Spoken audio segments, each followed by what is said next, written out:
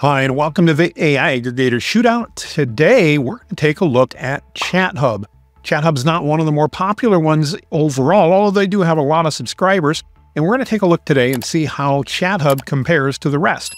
So far, we've reviewed Magai, we've reviewed Rubi, Poe, and some others that I won't mention. And today, we're going to take a look at ChatHub and see how it does what models it has, how it works, and whether or not we can recommend it. So stay tuned. So today we're taking a look at ChatHub, and this is their homepage. As you can see, one of the unique things about ChatHub is that they actually display multiple models next to each other. So if you want to know what OpenAI, what Claude, Llama, and even maybe Gemini do, you can literally put the same prompt in and have responses come in from all four different things.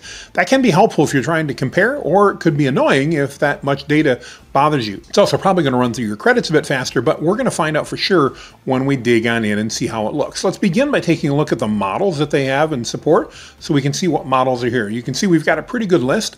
We've got multiple ChatGPT models, including the new, uh, newer, I should say, uh, O1 Mini and GPT-4o Mini. We've got multiple models from Claude Sonnet, including the brand new Claude Haiku 3.5, or almost brand new uh, literally in the last couple weeks. Multiple Gemini models. We've got Grok from uh, Twitter or X, and that's one of the few that we've seen that's included that in there. That's pretty cool. Uh, Llama, multiple models. Mistral models. Uh, Gemma, we've got a model here from Perplexity called Sona, which is their online or Sonar, which is their online model. We've got Command R, DeepSeek, Qwen, which I'm not familiar with at all, although they've got two of them uh, Yai Large, another one I'm not familiar with, DBRX, and Wizard LM. So a lot of different options here that are very interesting. And if you want to chat, you literally just go ahead and click Start, and you can do that. Uh, let's go ahead and take a look at their pricing models and see how their pricing compares. So two pricing models, they've got both monthly and yearly rates. Obviously less expensive as almost every model is if you go with the yearly, but let's take a look at the monthly. So for $19 a month, you get uh, 10,000 basic queries a month, uh, 1,500 advanced queries. Those are going to be on your higher models. 200 document uploads, 300 image uh, uploads, no API required. Again, overall, um, not bad for $19 a month. Let's take a look at their unlimited plan because this is somewhat unique in the aggregator model and they offer unlimited unlimited basic queries on your main models. They also are giving you unlimited advanced queries on the higher models that typically are limited. So 1500 advanced queries may seem like a lot, and that may be, but if you're a power user using it more often, the unlimited aspect for $39 a month, or what you'd roughly pay for two models, it does not seem like a bad idea. They also give you uh, unlimited document uploads, a thousand image generation a month.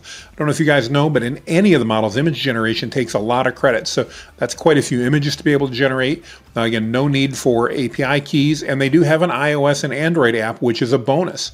Um, in addition, they have some premium features that you can chat with up to six bots simultaneously, real time web access. By the way, that simultaneous is what we were showing here on the first page, where it shows multiple models here. So it's showing four of them here in the video. You can do up to six of those at one time, which is cool. It has web access. You get to chat with images and files. You can summarize multiple chats in with one click. You can save and explore things in the prompt library, uh, even review code and all that type of stuff. So overall, I'm impressed with what I see. Let's dig in now and see what we think as we dig in into the software itself. So I went ahead and signed up for the Chat Hub Pro subscription, and that's the one we're going to test out here. So you can see when I come in, I've got uh, two models that came up by default, ChatGPT 4o and Claude 3 Sonnet. I can go right down here and choose what I want. Down here, I've got a Windows. If I want to add additional models, there's three simultaneous models. Here's four simultaneous models if I can click on that one. Uh, it's not letting me do those. It may be limited in my plan. Let's go take a quick look and see says we can do up to six simultaneously. I'm not sure why that's not working, but that's all right. We'll go ahead here. We're going to choose ChatGPT 4o, Claude Sonnet, and Gemini 1.0 Pro. Uh, let's see here. Let's compare. And yeah, I think for now that'll be, actually, let's do the new Llama model instead. So decent high-end models from everybody. Let's take a look and throw in a prompt. So as you guys know, the normal prompt I do is you're an expert uh, technical writer specializing in creating step-by-step SOPs. By the way, guys, I can't talk and type. That's just kind of the way it is. Please create me an SOP to upload a blog post to my WordPress website and optimize it for SEO using Yoast SEO. Please ask me any questions you have. All right, let's see what happens. So one of the things I do like about ChatHub is the fact that you get to see it doing multiple models at the same time. Uh, obviously, speed here is pretty good. I'm overall happy with that. You can see each one here is asking me some questions. Let's take a look and we'll go ahead and respond to these questions. I'm assuming when we do this, it's going to respond to all of them. We've got seven questions from GPT, five from Sonnet, and seven from Llama. Let's go and answer the ones that we can deal with the best. So uh, one self-hosted two latest version of Yoast. I'm going to make sure I explain it just a little bit since we've got three models here and then the questions are not in the exact same order. Uh, admin level access. Actually, let's make it instead, let's make it editor level, editor level access. It's more likely in many cases. Uh, content prepped, for we're going to leave that one off. Uh, SEO We'll leave off additional plugins, no. Uh, So we'll just answer the first three and let's see how it goes. Now again, when it asks questions, uh, it's going to go ahead and then fill in the blanks for the ones that we didn't ask. And you can see we're getting pretty good responses. Uh, if you remember our last test, which didn't go so well, although remain unnamed at the moment, uh, we had a lot of speed issues. And this one seems to be going pretty quickly, as fast as I would expect any of them to go. And again, overall, I like the way this comes out, um, getting good information. The information, by the way, that you get from virtually all these aggregator models is going to be very consistent with what you would get if you were using the model itself. So if I was going out and using Claude, I would expect something very, very similar to this. And we may get slight differences because Claude may throw it into an artifact and that type of thing, but it's going to be very, very similar. Just to give you an idea, let's go ahead and take this and let's go over to Claude. I do have a paid Claude subscription and let's just compare outputs real quick. So we're just going to go ahead and paste that in here. There we go. Let me go back and remember the questions that I gave it so that we can give the same basic responses. Okay, we're back. I seem to have lost my history. There we are. Just had the wrong tab. We'll highlight this here and we'll go back into Claude here. We'll give it the exact same responses and we'll see how it does. Again, speed-wise seems very similar. So now this is where you will see some differences. So in this case, Claude has chosen to use an artifact to go ahead and create this. Uh, and it's going to probably create a little bit different version as a result of that, but probably not tons different. We're seeing the, the basics come in here. We'll do login and access, then content creation, then Yoast. Let's see here. We've got pre-written preparation, then content creation, Yoast SEO, A little different process here. Again, I'm not sure we could have it compare both and, and do that. Um, in fact, let's do it. Let's copy this and then actually let's go back to ChatHub and let's copy the one in ChatHub and let's go back to Claude and compare. How does, move my face out of the way here a minute, hang on. There we go. How does this response compare to the following. So I'm not going to give it any information where it came from. I don't want it to have any bias. We're just going to paste that in. And now it's going to compare what it just wrote with what we got out of ChatHub. And let's see what we come up here a minute and what it says. All right, so it basically it has said the analyze the key differences, uh, um, structure and format. So the one that was done in Claude was more formal. Again, it used artifact as opposed to not using artifact. Um, the comparison is more condensed and linear. Uh, the new version in chat here had some additional sections. Detail level uh, was was similar. It looks like some other things that are different. The practical usage comparison version might be more practical for daily use. Uh, my version might be more comprehensive. Uh, and so again, I think probably candidly, in this case, uh, ChatHub using Claude may have actually provided a better response than the artifact did itself. Hard to tell for sure. But again, we've got that capability and super easy to go ahead and take a look over here. Uh, I don't seem to be logged in with my plan. I'm going to go ahead and reload here a minute. That may have been on the free plan. There we go. Now I'm on the pro plan just to make sure. So I've got my usage there. It is nice. They give you a free plan to go ahead and, and try out. If you're looking for some free usage, that's always nice uh, to take a look at and, uh, and always get some access. So I've got my models over here on the side. This is the first time I'm looking through this guy, so I don't have any more information than you might. We're just taking a look and trying to evaluate how easy it is to use. Let's go ahead and try that in Grok and try that exact same prompt here a minute and see how Grok does with it. Going to have similar questions, so we'll go ahead and give it the same answers.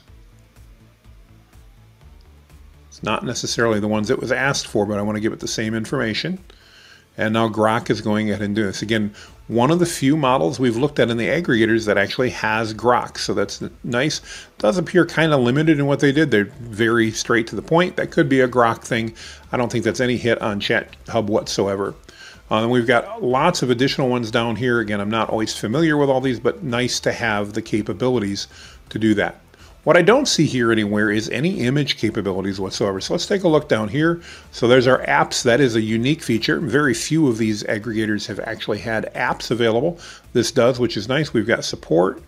Uh, what else do we have down here? I guess I'll have to click on it. Oh, dark mode and light mode. Okay, that's nice. And then we've got our settings that we can do.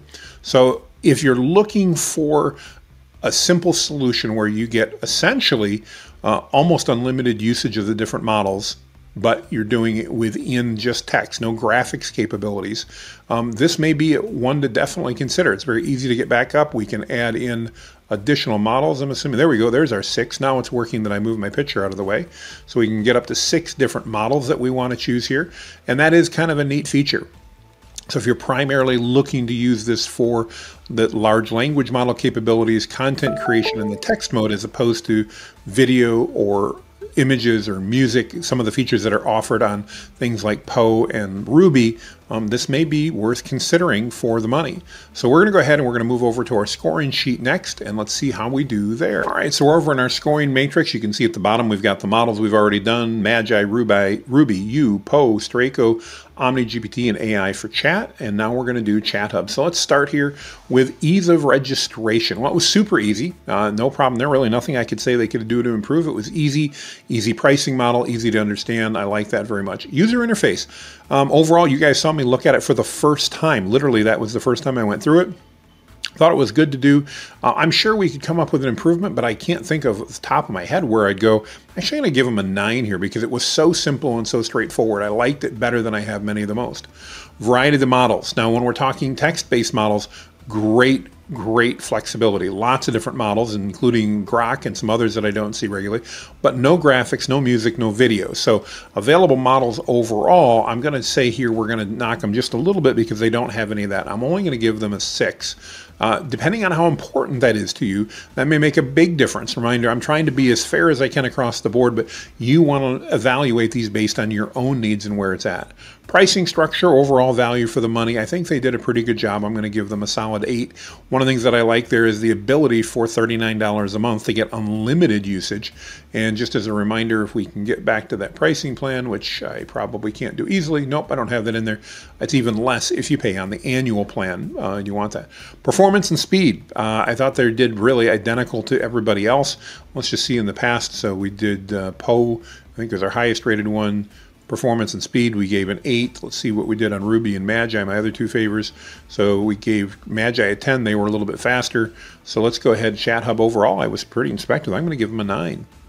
Integration capability. So we give them a 0 here, not because they did anything wrong. They simply don't have any API integrations for us to work with. Training and customization, fine tuning, prompt engineering models, they do give you the ability to save prompts, but they don't have really any customization to go after. They do have some support, so we'll give them a five here, but not a lot, actually a four. They don't really give you much customization.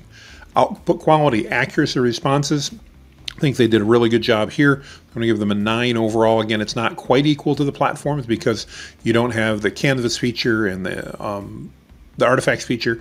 But again, really good overall. Data security, based on everything I've read, they should be good there. I've been giving everybody an 8. We probably should have dropped that one, but we're going to be consistent across the board. And customer support, we're going to give them an 8. I didn't need their support, but they have it readily available and easy to find right there. Documentation and resources. Let's go back and take a look. I didn't see really much for documentation. Uh, we've got the apps and stuff, which I really should give them a bonus on that. We'll have to figure out how I can do that. Uh, we do have the support that we talked about. Let's see here. Where is that? Support's right here. Let's click on that. We've got email and Discord support, so those are decent. Not really any documentation to write home about, so let's go ahead and go back to our scoring documentation and resources. I'm going to give them a six there. They don't have a lot. Now, in their defense, they don't need a lot because, candidly, they they're doing a good job there. So, um, one of the things I want to do here is on scalability. I don't know they have a lot of scalability. They've got decent plans though. I like the unlimited and I like the app, so we're going to give them an eight there overall. All right, let's see how this compares to others. So Magai we came in at with a 96. Rubi came in at a 95. You came in at an 88. Poe came in at a 98. Straico came in at an 83. OmniGPT at a 71. AI4Chat at an 83 and ChatHub at 85. Now, if you think I've been inconsistent here, anyway, let me know. One of the reasons I think ChatHub is a little bit lower is because they didn't have some of those extra features. And if that's not important to you, the other things they do have may be enough to sway you and make it a great value. Overall, I do like ChatHub. I like the way it works and I'm pleased with the responses. So again, overall, I recommended platform. Its limitation is the fact that it's only text based. So there are no images, video, music, or anything else. But I like what I see here. I'd love to get your thoughts. Do you think this is a great value or not? Do you think there'd be better? And when you think about that, if you're looking for text, think about the fact they have an unlimited plan. I believe, based on those we reviewed, this is the only model that actually gives you unlimited usage of the higher models for $39 a month. So I look forward to your feedback. I'd love to hear from you, and we'll see you on the next review. We've still got a few more to go.